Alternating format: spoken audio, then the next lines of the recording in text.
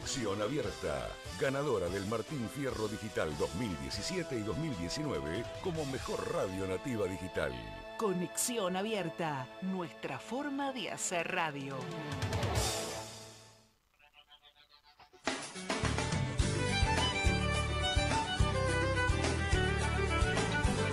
Vivimos en tiempos de cambio y, de vez en cuando, es necesario tomar decisiones. Hacelo sin miedo y soltar el control. Tiempos de coaching. Una nueva forma de vivir tu realidad.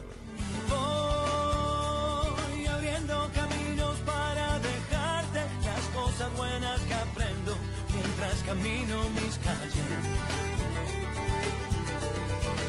Me llevaré las buenas luces que tiene la gente que me iluminan la vida y me regalan mi suerte. Auspicia este programa Le Petit, calidad internacional en medicamentos con 150 años de tradición en innovación farmacéutica. Todos los días estamos yendo al mejor lugar que podamos tener, donde en vez de edificios crecen árboles. Yendo por kilómetros de sendas aeróbicas para disfrutar. Yendo al río, yendo al puerto, a los parques. Estamos yendo a un mundo cada vez más sustentable. Estamos yendo a donde tenemos que ir. Construyendo San Isidro. Hoy podemos decir orgullosos que en Vicente López tenemos las escuelas municipales más modernas y tecnológicas de Argentina. No para ganarle a nadie, para que ganen los chicos. Vivamos Vicente López.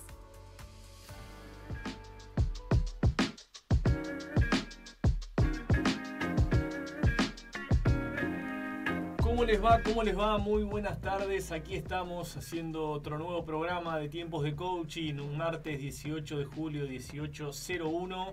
¿Cómo les va? ¿Cómo anda ahí Brian Pereira, nuestro querido operador? Mano arriba, saludando, las manos mágicas. Así que, bueno, muchas gracias a los que están del otro lado ya desde hace más de un año y medio. Hoy vamos a tener un programa muy, muy interesante. Y ya les digo las vías de comunicación, ya saben, arroba tiempos de coaching, ahí está nuestro Instagram y si no pueden hacerlo también eh, arroba tiempos coaching por Twitter. Así que dicho esto, hoy le- les quiero con- contar sobre una, una trágica noticia que, que nos invita a seguir pensando sobre la, la importancia de desarrollar desde, desde pequeños la inteligencia emocional. Tanto interpersonal como intrapersonal en los ciudadanos de a pie y, sobre todo en personas en disposición pública como son los políticos, los futbolistas, y también la necesidad que, tenemos de fortalecer la confianza y la comunicación. Seguramente ustedes vieron estos días un video ahí de, de William Tapón, de tan solo 24 años, padre de dos hijos, protagonizando un acto de, de- de violencia extrema al agredir al árbitro Cristian Paniagua durante un partido de fútbol amateur en Sarandí. Posteriormente, Williams decidió poner fin a su propia vida y este hecho, a nuestro entender, claramente muestra una vez más cómo la falta de, de habilidades emocionales puede tener consecuencias gravísimas y devastadoras para, para toda la familia. Hemos hablado aquí muchas veces que la inteligencia emocional no solo implica reconocer y, y gestionar las propias emociones, sino también comprender y conectar emocionalmente con los demás. Sabemos que eso lleva a, a hablar de dos elementos que son fundamentales eh, para el desarrollo de, de relaciones saludables. Por un lado la confianza y por el otro la comunicación. La confianza es un pilar fundamental, fundamental en cualquier relación interpersonal, implica tener fe y seguridad en nosotros mismos y en los demás. En el caso de Williams, eh, es posible, a nuestro entender, que la falta de confianza en sí mismo y, su capacidad y en su capacidad para manejar la frustración haya de alguna manera contribuido a su, a su reacción violenta. Esto lo vemos diariamente en, en- muchos jugadores de, fútbol. Eh, creemos también que, que, bueno, desarrollar la, la confianza, ustedes saben que implica también poder trabajar con nuestra autoestima, en, cre- en creer en las capacidades, en cultivar relaciones basadas en el respeto mutuo. Y, y la comunicación, por otro lado, tiene un papel fundamental en lo que es la resolución de conflictos y en la prevención de, de situaciones extremas. En el caso de Williams pudimos observar cómo esa comunicación deficiente durante, en el campo de fútbol, tanto con el árbitro, con sus compañeros, la, la incapacidad de, de, expresar esos sentimientos de una manera asertiva, como decimos nosotros, lleva a frustraciones, emociones negativas y todo ese desencadenante que tiene eh, la ira, ¿no? el enojo que pasa a, la ira. Creemos que, que es fundamental, y lo venimos diciendo acá en el programa, fomentar una cultura de apertura y diálogo para que las personas puedan expresar de manera segura las emociones y las preocupaciones, aprender a manejar los desacuerdos de manera pacífica y evitar en la medida de lo posible, de gran posible, tanto la violencia verbal como física. Somos convencidos para en este programa que hay que fomentar la educación en inteligencia emocional desde la temprana edad, eh, tanto para promover la confianza en uno mismo y en los demás y, sin ninguna duda poder adquirir eh, habilidades de comunicación afectiva. Quería hablar de esto hoy, quería comentarles esto, quería que reflexionemos sobre esto. Sabemos también que el suicidio es multicausal, pero en este caso es lo que nosotros hablamos como una, una cadena de inferencias que se fue llevando adelante y que lamentablemente terminó con, con esa imagen tan fuerte como la agresión al árbitro y también con el suicidio de este joven. Dicho esto, arrancamos un poco de música y ya en cuatro minutos vamos a tener a nuestro primer entrevistado, un gran, gran profesional de los recursos humanos.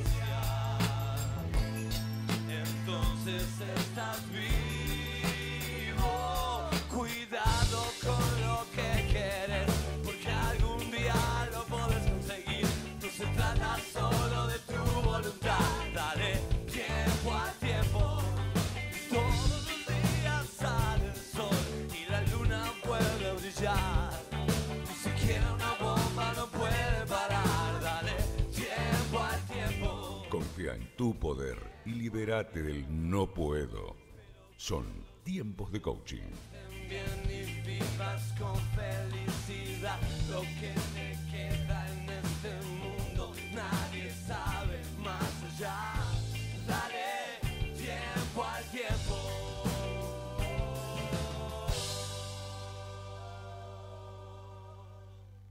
Son tiempos de cambio. Son tiempos de coaching.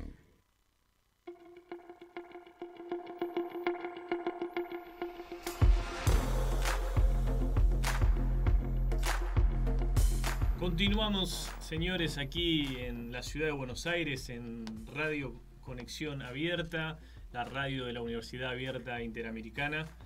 Y ahí, como les decía, contentos de estar aquí siempre con, con nuestros entrevistados, de los que estamos orgullosos de aprender cada vez que hablamos con ellos. Eh, somos, nos declaramos aprendices permanentemente y, bueno, ya después de tantos años de, de trabajar en, en, la comunicación y el coaching, creemos que la mejor manera de, de hacer un programa de radio tiene que ver con escuchar al otro y hablar lo menos posible nosotros. Así que tengo la, suerte, después de, haber hablado en un par de oportunidades, de tener en línea a Gerardo Álvarez. Gerardo Álvarez es abogado con un posgrado en recursos humanos y hace más de 17 años que trabaja en el Banco Macro, donde actualmente lidera los sectores de recursos humanos, operaciones y administración. Así que lo quiero saludar a él. Hola, ¿cómo andás? Muy buenas tardes, Gerardo. ¿Cómo Fernando? ¿Cómo anda eso? Bien, un placer escucharte y un placer estar acá en tu espacio. No, muchas gracias, la verdad que es una alegría poder tenerte aquí porque mm, estuve leyendo mucho de tu historia y bueno, y sobre todo también, bueno, el banco es un banco, una marca muy reconocida. Así que te voy a hacer la primera pregunta que acá me deben haber escuchado mucho nuestros teleoyentes, que es una pregunta al ser y que tiene que ver justamente con, con quién es, con quién es Gerardo Álvarez. Bueno, yo soy un, gerente en el banco que, que, arrancó de muy abajo, que arrancó haciendo tareas tercerizadas como, como un empleado del área de seguridad y, y, fui creciendo en distintos puestos, siempre, siempre con, con, un liderazgo distribuido de una manera eh, eh, acompañando siempre eh, mi propio desarrollo, ¿no? Con, mucho esfuerzo, con mucho con formación, con, dedicarle horas, trabajo y demás. Y, pasé por prácticamente más de 10 sectores internos dentro del banco, entonces soy el que, el que conoce desde la puerta hasta, hasta la azotea, te puedo decir cómo está, cómo está, cómo funciona. Y y siempre fui eh, leyendo las, distintas culturas por las que el banco fue pasando, ¿no? Y, las fui acompañando y me fui transformando al igual que el banco se fue transformando en todo este tiempo. Pensá que los bancos somos una industria madura, de muchos años, exitosa pero madura, y, difícil transformar, ¿viste? El, dicho equipo que, gana no se toca, difícil la transformación cuando venís de una industria que, te va bien. Y pasamos desde de, ese banco analógico y ese banco que la gente lo representan los, los billetes, las cajas fuertes, las bóvedas, a ser un banco digital. Y esa transformación yo la viví desde adentro del banco y, y soy uno de los, que, de los gerentes más antiguos que, que vivió todo ese proceso de cambio, que en la esencia este, el banco siempre no perdió esos valores con los cuales creció, pero, pero sí se fue transformando y te puedo decir que en los últimos años la transformación nos llevó por delante. ¿no? Qué bueno, qué bueno, qué bueno lo que contás y qué bueno eh, esa evolución. Antes de meterme en otras preguntas que tenía pensado, tenemos un tiempo largo por suerte, me gustaría aprovechar y preguntarte qué cambió en, ese Gerardo que empezó como un empleado de, seguridad tercerizado a este que está como líder y gerente de, estas áreas tan importantes en una organización. Básicamente, a, veces tenemos la, creencia de que, las personas no cambian, ¿no? Yo, mismo, yo mismo me veo en el pasado y, y uno eh, crecía, o sea, fui gerente de seguridad de este banco y tenía una visión de las cosas muy distintas a las, que tengo hoy. Y esa transformación la hace la amplitud, ¿no? Y, el, y el, vos creo que lo dijiste eh, al principio, escuchar, ¿no? Y, y la, la, mentalidad de aprendiz. Yo, yo hoy estoy cursando mi segundo año de, la Escuela de Formación de Líderes de Coaching. Ah, y, ahí me formé yo. Y después de tanto, o sea, y, soy un aprendiz constante, o sea, voy todo el tiempo evolucionando, tratando de aprender cosas nuevas y de ver cómo, cómo hace, hace un tiempo de una universidad me llamaron para ver si, si me animaba a dar una a dar charlas o, a formar y la verdad que dije no tengo tiempo tengo tanto para aprender que, no sé si tengo tiempo y ganas de, enseñar. Por ahora sigo, sigo evolucionando y sigo con ganas. Yo pasé por acá adentro por, sectores muy distintos. Operaciones no se parece no, se parece a recursos humanos, ni administración, ni infraestructura, son todas cosas bastante distintas y, cada una que voy descubriendo, voy viendo lo rico y lo, interesante que es cada una. Esa transformación que, va desde, desde, lo, desde lo empresarial hasta lo personal, eh, es lo que te enriquece y lo que me acompañó todos estos años. Es, seguir descubriendo todo el tiempo eh, nuevas, nuevas formas de hacer las cosas, nuevas formas de trabajar, nuevas, nuevas, nuevas formas de pensarla la, yo trabajaba con, trabajé muchos años con ingenieros, con arquitectos, con, y cada uno tiene su, su, su, forma de pensar, su forma de ver las cosas. Lo rico es que todos esos talentos, cuando se unen con un mismo propósito, es potentísimo. O sea, y, ahí es donde se alinea uno, uno cuando ve los valores que tiene el banco y uno, y uno se alinea con los valores personales y ve que trabaja en una empresa y lo que la empresa mueve, provoca y demás, y empieza a conectar con el orgullo, todo eso hace que uno vaya a buscar, vaya por más. Y esa es parte de... Y, soy una, prueba del que el crecimiento, el banco me fue dando las oportunidades, yo puse lo mío, el banco puso lo suyo, y, así me fui desarrollando y así fui creciendo. Qué lindo, qué lindo todo lo que contás y qué bueno que, hayas podido desarrollarte y tu mirada de, querer seguir aprendiendo, me parece que, que, es clave, coincido en eso. La segunda pregunta, que ahora sería la tercera que, había pensado, y ya adelantando un poco que te estás formando como coach profesional, la casualidad que tiene que en la misma escuela que, me acredité yo como coach y después hice especializaciones en otros lados, tiene que ver con qué opinión tenés como responsable de recursos humanos, como gerente de recursos humanos, de, de la disciplina del coaching profesional. Y ya aprovecho ahí para decirte, para meterte como una segunda pregunta, aunque en el coaching no deberíamos hacer esto, eh, ¿cómo lo ves y si lo implementan en, ahí en Banco Macro? Mira, eh, te puedo decir todas las bondades que, te trae el coaching, no sé, en, la mejora de las relaciones.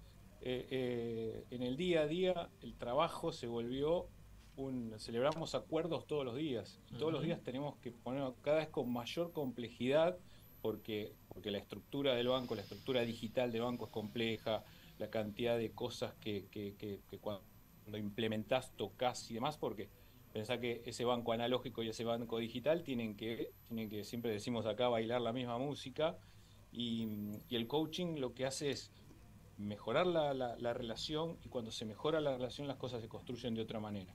Y después tiene todo un trabajo de, no sé, favorecer el desarrollo de las personas, de, el trabajo del desarrollo de la inteligencia emocional de la gente. Yo descubrí en el coaching que es una herramienta potentísima para que las, para que las organizaciones las lleven adelante, para acompañarlas y acompañar a esos líderes que son los que, se tienen que transformar y cambiar esa mentalidad. Hubo toda una evolución del modelo del líder de, que veíamos hace, hace 20 años al, líder actual y siempre, siempre pensamos que el coaching y el liderazgo están muy relacionados o emparentados y la, función del coaching es justamente formar a ese líder o acompañar a ese líder en cumplir esos objetivos que no se están dando y empezar a, empezar a ver esas cosas que, a veces, esas preguntas que a veces los líderes no nos hacemos y, a veces no nos preguntamos que, dónde terminan nuestras acciones, ¿no? ¿Qué, ¿Qué generan nuestras acciones en la gente? ¿Cuál es el resultado que, de nuestras acciones, qué impacto terminan teniendo en, la gente. Y ahí en el banco, eh, ¿tienen algún programa de coaching? ¿Has recomendado vos a alguien que haga coaching? Aprovecho para hacerte esta pregunta. Porque... Tenemos un programa, ah, tenemos, un programa tenemos un programa y tenemos, o sea, es, es un servicio que, que, viste que el coaching es, es una decisión personal de, de, cada gerente tomarlo o no en, encontrar esa, esa brecha, si, si tienen o no tienen, y, y, ahí venimos trabajando, tenemos un, un, equipo de, gente trabajando en eso, y tomando horas y haciendo recorrido, y los gerentes, los líderes van tomando, van tomando las horas, y los resultados son, son increíbles, desde, desde gente que, que, no, que hacía muchos años que estaba en el mismo puesto y no, no iba a buscar más. al, al, principio una revolución que lo pusimos a implementar porque, porque mucha gente que, empieza a ver cosas que, antes no veía y, y, de, este lado también exige de otra manera. Entonces, eh, y eso es lo rico y eso es lo bueno. O sea, che, yo estoy dispuesto a, ir por más, a poner esto y, cómo me van a acompañar. Y nosotros del lado de recursos humanos tenemos esas charlas donde, donde, donde ya con un rol de mentores empezamos a acompañar a la gente a, esa transformación que, que, el coaching le genera, ¿no?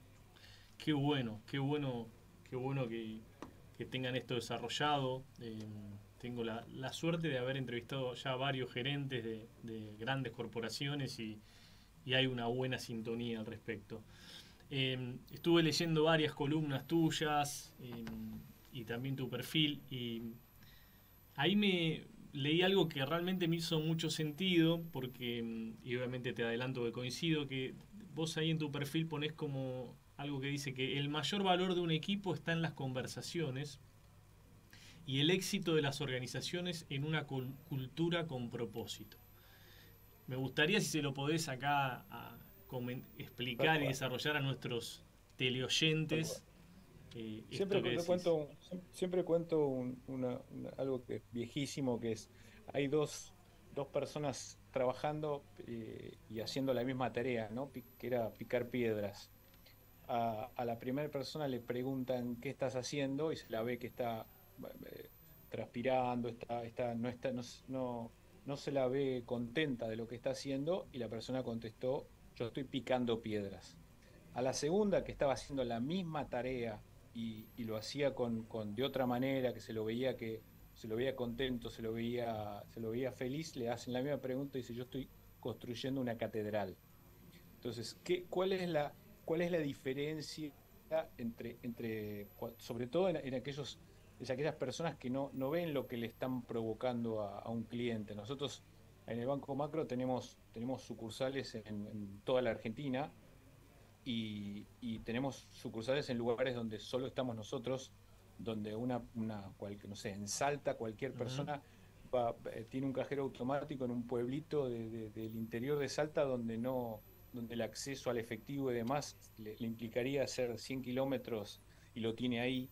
Entonces, por ahí los ejecutivos que están en las sucursales y más entienden lo que provocamos en la gente, lo, que, lo que el banco provoca y lo que provoca por la comunidad. Nosotros sumarle que somos un banco argentino y, lo que hacemos lo hacemos para Argentina, para y por Argentina. y, a veces aquel que trabaja en, en, una oficina, en un escritorio, haciendo una tarea operativa, que no ve lo que le provoca al cliente, que no conecta con ese orgullo, con, con ese, con ese propósito, que sí quien lo tiene adelante, eh, necesitamos que conecte, o sea, que vea que lo que su laburo provoca. Y, ahí hay un trabajo de, primero, entender el propósito personal, que en el coaching te, ayuda mucho a ver el propósito personal, ¿no? ¿Qué, quiero yo? ¿Qué valoro? ¿Cuáles son mis valores? ¿Para dónde quiero ir? Y después que ese valor personal conecte con el valor de la compañía. Y eso es potentísimo, porque eso es lo que mueve lo que genera en la gente que, sienta, se sienta contenta, que trabaje feliz, que, vaya por más. Y cuando la gente trabaja en una emocionalidad que, correcta, que es, que es conectado, que es una, en confianza y demás, eh, es muy potente lo que, lo que construye. Muy distinto que si, alguien trabajara con una emocionalidad que no, no, sería habilitante como podría ser el miedo o, u otro tipo de, esquema que, no, que hoy no, nosotros tratamos de, eliminar de, nuestra cultura, ¿no? pero, pero ese paradigma laboral ya tuvo, ya tuvo un cambio trascendental en los últimos años, que es ya no, no existe más el, área eh, de, la, gente que trabaja sin poder opinar en lo que hace. La gente necesita, se siente valorada si puede opinar en lo que está haciendo. Y nosotros trabajamos mucho acompañando a que se a que, a que, se, a que la persona que trabaja en Banco Macro se sienta, se sienta que puede opinar, se sienta que puede decir qué, qué le gusta, qué no le gusta, qué le parece lo que está haciendo y empiece a preguntar los para qué de las cosas. Y, es todo un cascadeo virtuoso porque, porque ahí los líderes tienen que, tienen que acompañar esa transformación, ¿no? que, que es un cambio de mindset bastante interesante. Sí, sí, sí, sí, muy, muy, muy importante y sobre todo me imagino en lo que hablabas de, bueno de, la cultura quizás de algunos bancos. Esto igual es como una creencia que no, quisiera profundizar aparte que no tiene mucho sustento pero el cambio claramente es, interesante ahí y mm, veía lo de lo de las conversaciones de la necesidad de las conversaciones que hablabas en un equipo Y también en una columna reciente hablabas de, de la habilidad blanda de la empatía y, y del valor de la, de la, diversidad. Y dabas algunos ejemplos que me gustaría que compartas acá con, con los, Sí, nuestros teleoyentes. Nosotros, Sí.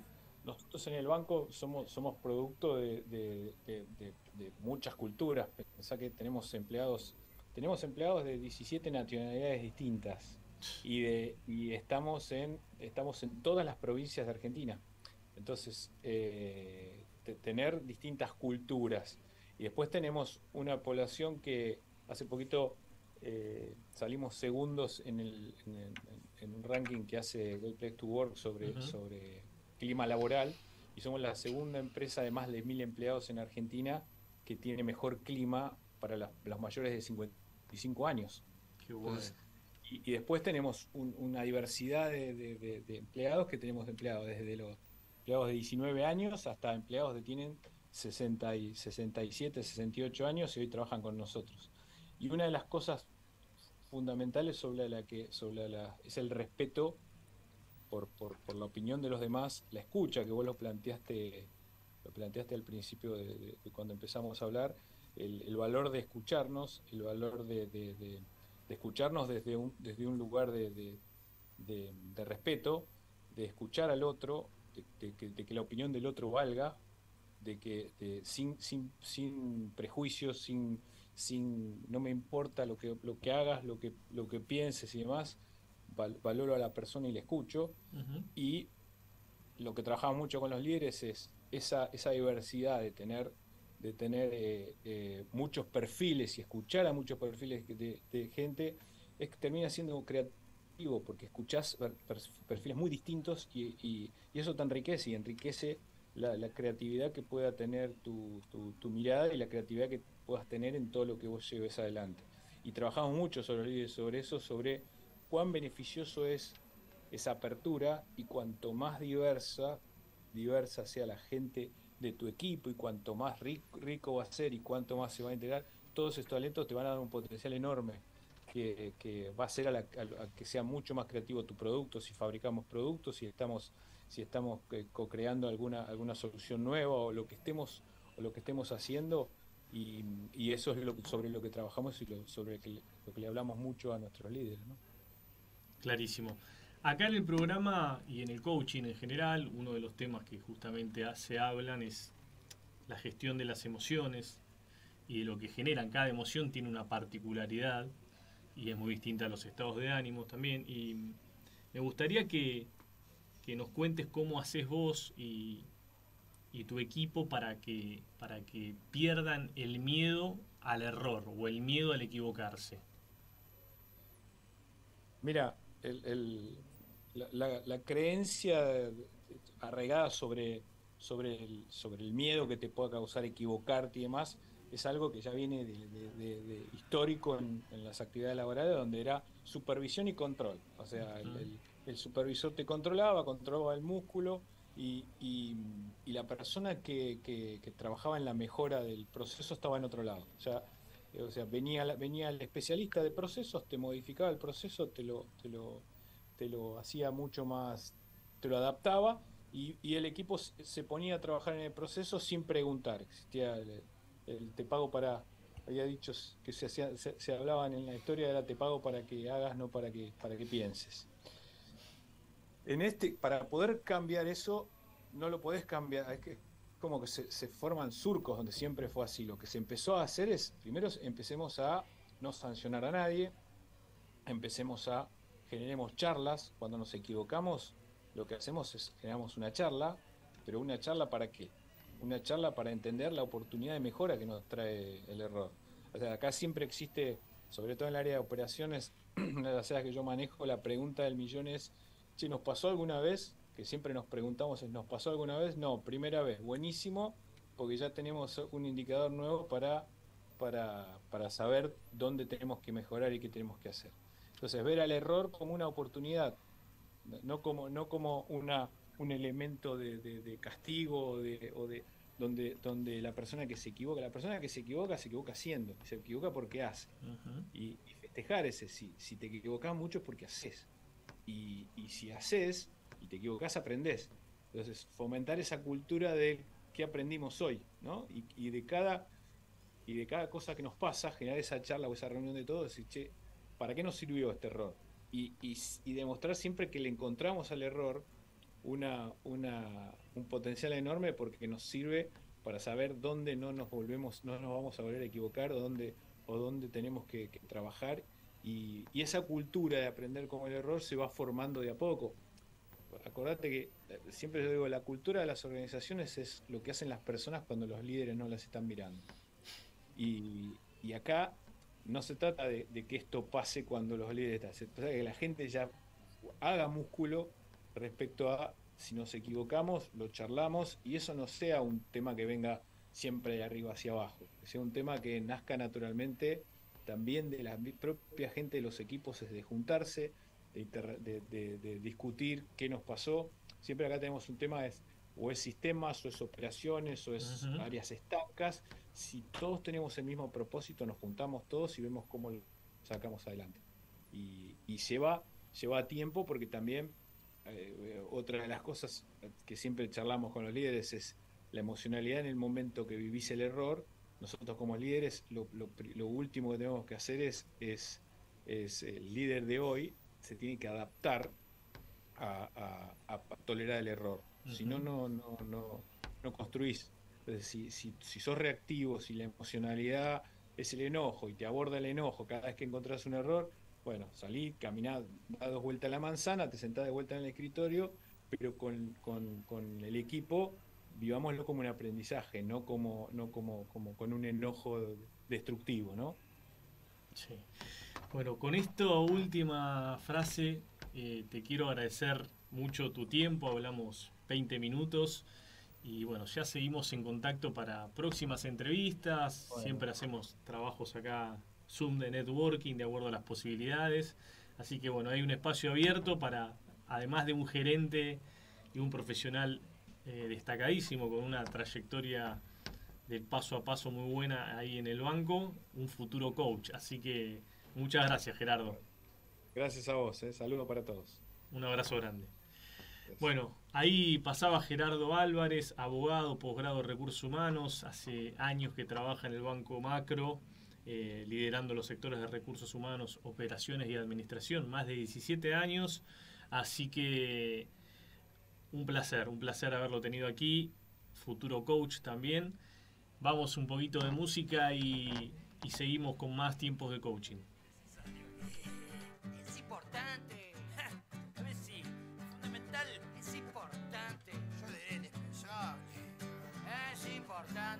escaparse a algún lugar.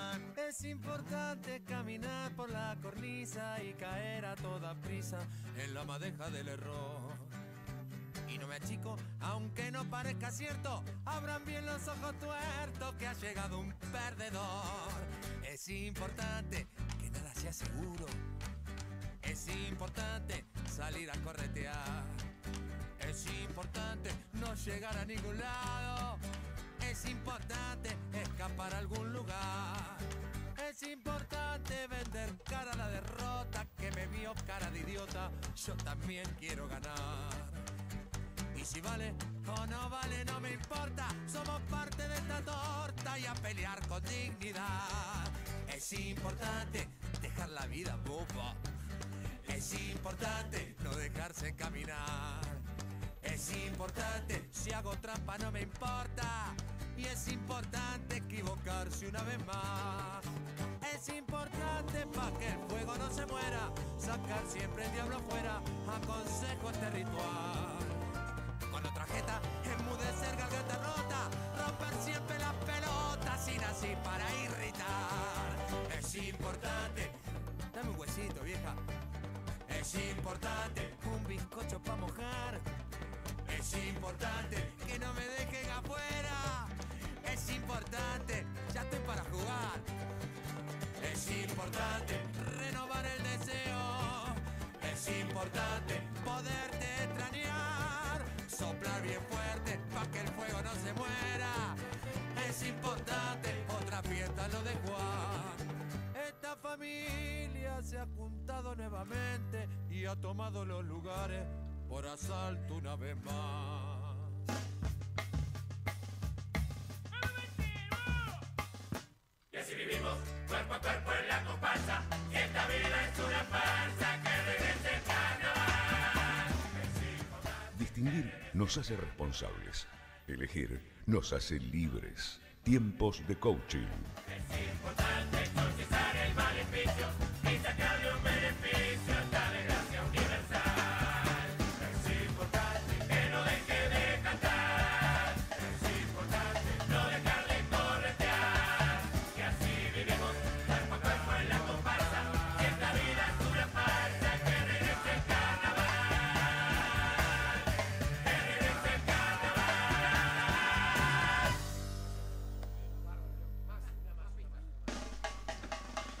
Volvemos, volvemos escuchando ahí a la Versuit con su tema Es Importante.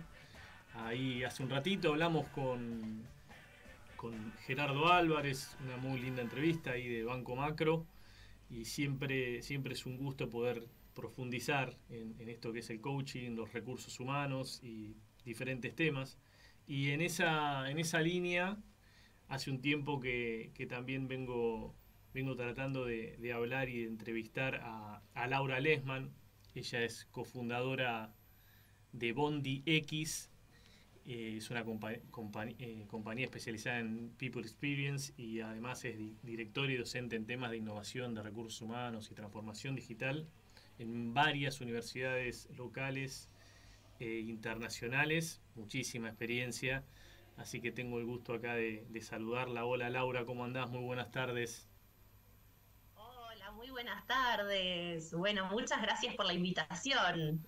No, por favor, por favor, es un placer para, para nosotros aprender de, todos y bueno, y sobre todo de quienes vienen trabajando hace tanto tiempo en, lo que tiene que ver con el coaching, recursos humanos y bueno, vos no, me, nos vas a ir contando un poquito más de todo lo que hacen porque me dio mucha curiosidad muchas cosas de las que estuve viendo. Así que lo primero Gracias. Y lo segundo es la primera pregunta que los coaches, creo que vos me dijiste que sos coach también, es al ser, una pregunta al ser, que es como un caballito de batalla que tenemos acá, y es, ¿quién es Laura? Uy, qué, qué pregunta. Bueno, a ver, Laura es, es muy eh, curiosa, eh, muy apasionada por lo que es la transformación en general, ¿no? Soy una admiradora de los procesos de transformación.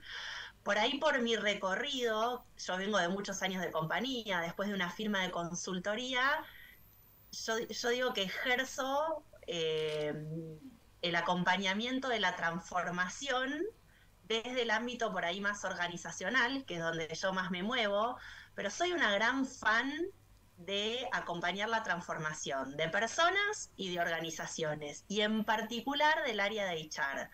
Y detrás de todo eso, con ese propósito, ¿no? A mí no me da lo mismo que eh, intervenir en una compañía y que se mueva o no se mueva del statu quo, ¿no? No me da lo mismo. Como que yo necesito esa capacidad transformadora, ponerla en juego eh, moviendo lo que haya que mover, y ahí pongo mucho el cuerpo, Fer. Eh, y también eh, todo lo que conlleva acompañar la transformación, que bueno, que es un tema que, que después voy a traer sobre la mesa, que es cómo hacemos para tra transformar eh, si, si, no nos comprometemos con nuestra transformación, ¿no? Pero bueno, todo eso es lo que a mí me empuja, a transformar. Eso tiene que ver con mi ADN y mi propósito. Buenísimo, buenísimo. Bueno, y justo vos, vos preguntabas ahí, te autopreguntabas, o nos, nos interpelabas a nosotros, y bueno, ¿cómo hacemos para transformar? Sí. Primero, bueno, a ver, mi, formación como coach fue el primer paso, te diría ya hace muchísimo, ya más de, de un, décadas, diría que años, ¿no? Pero yo siempre esto de querer acompañar la transformación lo vi dentro de mi ADN y sabía que mi carrera tenía que ver con eso. Y me acuerdo que cuando me fui a certificar como coach, viste que te, eh, al principio tenés como ciertas charlas de orientación. Uh -huh. Y en esa charla nos preguntaban para qué nos queríamos certificar, ¿no? Y yo ahí decía para acompañar la transformación, ¿no? Lo tenía como muy claro. Y cuando me recibí como coach ontológica en ese momento, eh, me acuerdo que terminé mi, mi, presentación final diciendo, y yo que pensaba que iba a venir a aprender a transformar a los demás, y me terminé como que fue un proceso muy duro de transformación, ¿no? Lo que venimos de la formación de coaching ontológico lo sabemos. Y creo que eso quedó grabado como un poco en mí. Entonces, eh, nada, yo creo que que ese fue un punto de partida y desde ahí me volví muy crítica en relación a qué oferta estoy siendo yo para acompañar una transformación y desde qué paradigma estoy acompañando una transformación en el ámbito ejecutivo, ¿no? ¿Por qué? Porque hoy se habla del New Mindset, del All Mindset, ¿no? De, habilidades tecnológicas, digitales, la ciencia de datos, y un montón de disciplinas que son muy nuevas, y yo ahí es donde a veces soy crítica eh, con, el, con, conmigo misma, ¿no? En donde yo digo, bueno, ¿cuánto puede uno ayudar a la transformación de ese ser que está con mucha angustia, con muchos miedos? Si, si uno ejerce su ser coach lejos de conocer esos skills o un poco esos, esas herramientas que el mundo actual nos brinda, ¿no? Eh, Laura, ahí me interesa, hablaba justamente, bueno, de herramientas, aquí entre los entrevistados que, tuvimos, en su momento habló Daniel Colombo y justo hablamos de, entre otras cosas, de las habilidades. Me gustaría, si a tu criterio, ¿qué crees que hoy está necesitando tanto las organizaciones y sobre todo también las personas con respecto a estas habilidades? ¿Qué, se está demandando? Bueno, yo ahí tengo como una, los, que me conocen un poco más, eh, por ahí no todos en la audiencia, ¿no? Pero aquellos que me han escuchado más, yo siempre hablo de cuatro cosas. Ojo, que son cuatro cosas que un líder en el contexto de una organización, para mí, tiene que por lo menos interesarse en explorar, ¿no? Eh, y esto lo digo eh, con humildad, porque mm. digo, seguramente son muchas más, ¿no? estas cuatro cosas son las que a mí en mi recorrido me tocó eh, vislumbrar claramente, pero por ahí hay un montón más y siempre invito al público a complementarme, ¿no? Em, o a complementar mi modelo. Y esas cuatro cosas son las tecnologías emergentes. Yo siempre digo que todos hoy somos tecnología, ¿no? De hecho, estamos hoy conversando acá a través de una herramienta digital. Em, y, bueno, y cada vez más la tecnología, y la pandemia lo dejó muy de manifiesto, ¿no? Empieza a atravesarnos de en mayor medida. Entonces digo, en algún punto y acá están las creencias del otro lado, ¿no? Todos somos tecnología. Tecnología no es una competencia para unos pocos iluminados, innovadores que nacieron digitalmente, no. Sino que en algún punto todos tenemos que poder comprender o, interesarnos, si estamos en el ámbito de, la organización, después abrimos otro capítulo para el de la no organización, ¿no? O del emprendedurismo, pero todos deberíamos interesarnos en conocer el potencial de las tecnologías emergentes. ¿Por qué lo veo esto, Fer, como, un, como una zona en donde coaches y no coaches tenemos que meternos? Porque es como cuando abrimos la percepción. Si uno conoce el potencial de las tecnologías emergentes, hay acciones que se te empiezan a habilitar que antes de entender cuál era el potencial de esa tecnología vos no tenías disponibles. ¿no? Entonces, estas cuatro cosas que yo digo, para mí abren la percepción o el universo de acción del profesional de hoy. Uno, entonces, las tecnologías emergentes. Otro es la agilidad. Y acá, cuando, cuando traigo estos temas sobre la mesa, no quiere decir que mañana todos corramos a hacer el curso de developers o de Scrum Master. No, es simplemente por ahí leer un librito de Scrum, es por ahí pedirle al área de tecnología, me das una charla de tecnologías emergentes, no, no hace falta ser especialista, ¿no? Pero sí profundizar un poquitito más o interesarnos. ¿Por qué? Porque eh, yo creo que nos va a dar estos recursos para, como decía recién, para abrir nuestro horizonte de acción. Y para también, acá empiezo a anticipar eh, el, otro lado de la moneda, que es perderle el miedo, porque hay mucho mucha parálisis ah, por, por, el desconocer, ¿viste? Por, por esto del metaverso, ¿no? El metaverso, nuestros chicos lo juegan en los jueguitos y no, nos enteramos que lo vimos mil veces, ¿no? Como... Punto número tres es la ciencia de datos. Hoy estamos en un mundo en donde eh, el nuevo petróleo son los datos. Con lo cual, lo que un eh, eh, profesional en una compañía pueda capitalizar en términos de datos disponibles em, en su área o datos del cliente o datos del colaborador para los que estamos en las áreas de recursos humanos, va a ser de alguna manera una porción grande del valor agregado que aporte dentro de la organización. Y hablo de los datos no como devolvernos duros y fríos, sino de los datos justamente para poder ser una compañía más humana, para poder por ahí llegar a conocer más ágilmente a la gente e intervenir. Y después me quedó un cuarto pilar que, que a mí me encanta, que es el pensamiento de diseño. El pensamiento de diseño, algunos lo conocen como design thinking, otros lo conocemos más como service design, a mí me gusta mucho más lo que es el service design como disciplina.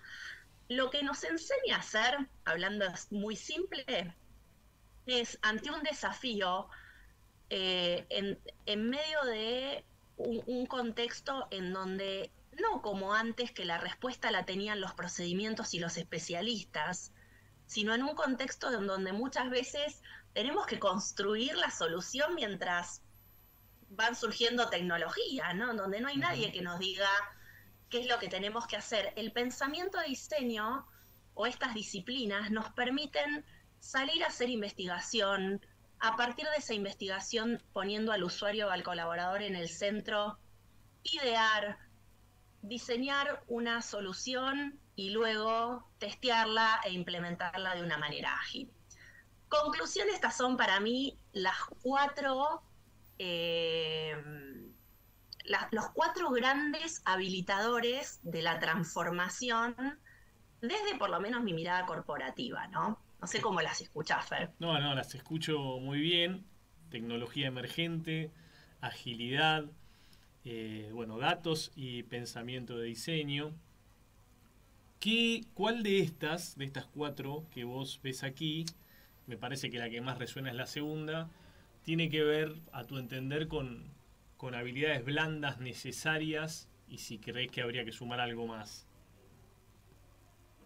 Bien. Eh, la segunda y la cuarta en mayor medida.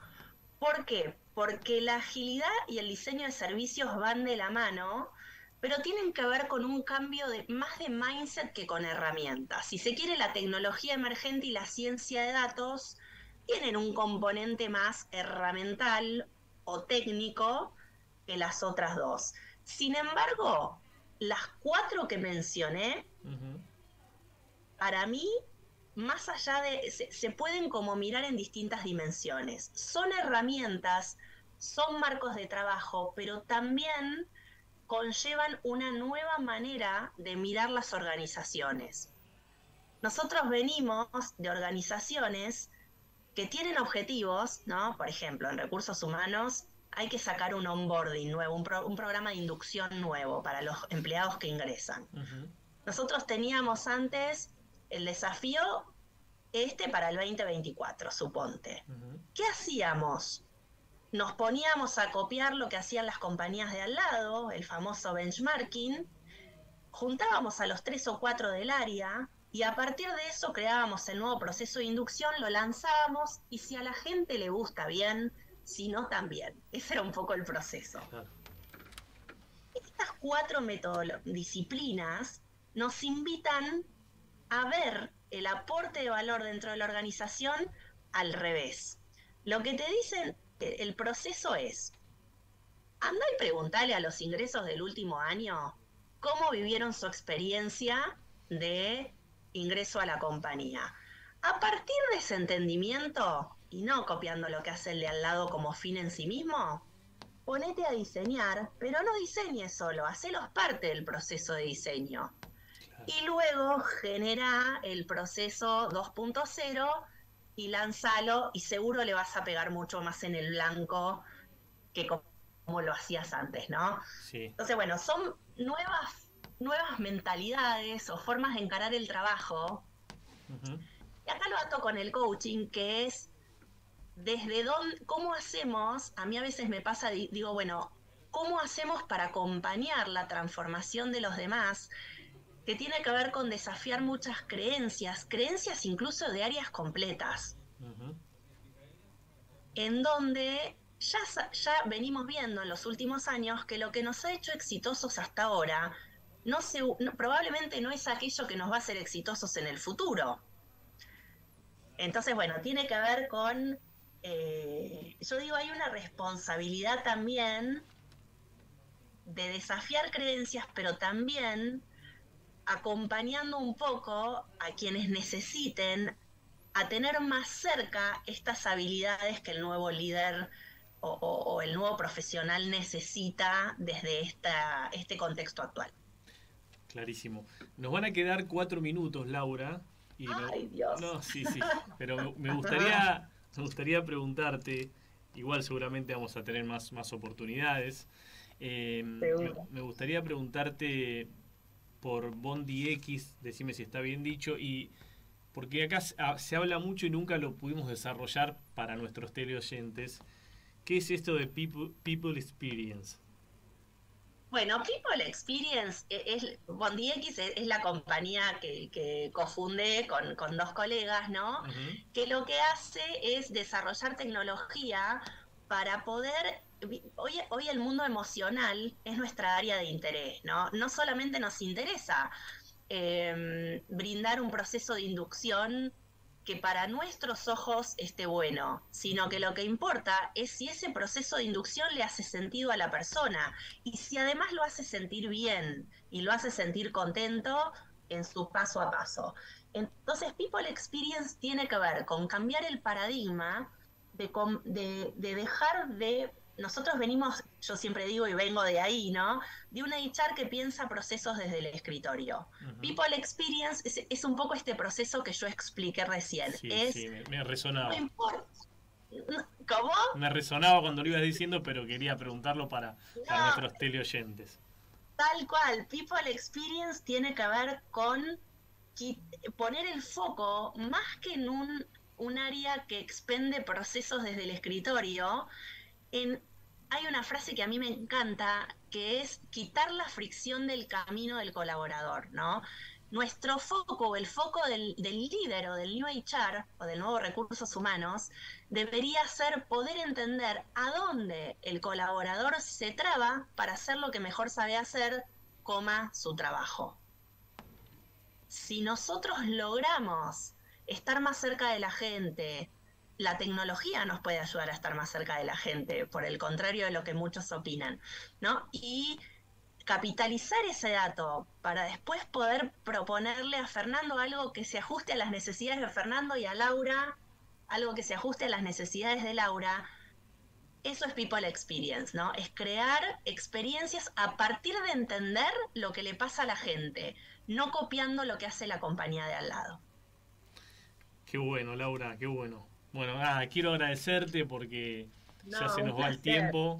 Eh, me gustaría que dejes donde te pueden contactar nuestros teleoyentes y coaches, que son muchos de acá, de otros lados de- del, del país y de otros lados del mundo, porque hablamos con coaches de, de todos lados, así que hay como una comunidad que ya se fue armando, así que si nos podés dejar ahí tus contactos de, de redes sociales y, y bueno, gracias por, por tu participación y tu claridad.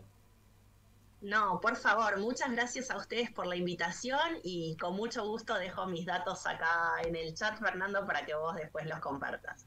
Bueno, muchas gracias Laura, seguimos en contacto. Gracias a ustedes, a a ustedes. Adiós.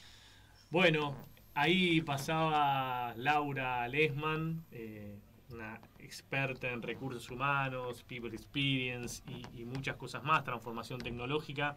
Les, recomiendo que ahí que la sigan en las redes sociales, que se metan en LinkedIn y, la puedan seguir. Eh, bueno, mucha experiencia para, aportar. 18 y 54 eh, aquí en, la ciudad de Buenos Aires, con un día frío, un día movido aparte, lo personal y como son los días movidos de, Argentina en este momento. Eh, ahí agradecerle a, mi querido acompañante aquí del piso permanente que es Brian Pereira y a las autoridades de la radio, como siempre. Y como les digo, eh, ahora viene un programa espectacular, espectacular que, siempre trato de quedarme un ratito a escucharlos.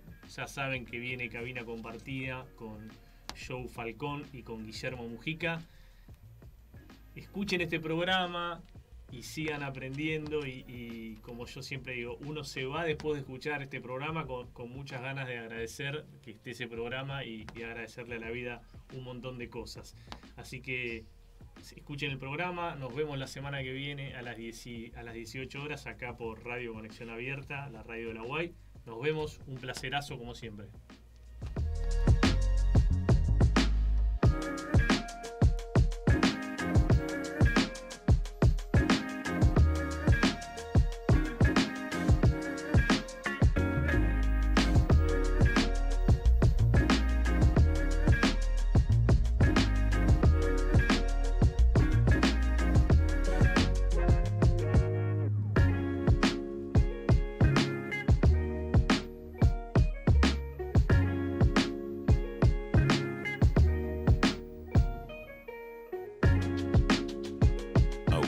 Este programa.